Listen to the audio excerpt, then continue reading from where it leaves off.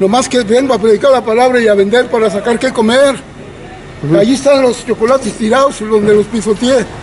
¿Qué le hicieron los que le, No, pues luego échalos arbitrariamente y lo quieren adjudicar a como dé lugar y que aquí no hay para vender. Entonces estamos en un México libre y soberano. ¿En dónde vamos a vender? Ni modo que en el extranjero. Están echando a todo el documentado para sus países y a uno lo discriminan aquí mismo. Aquí está la discriminación con el gobierno. Ya.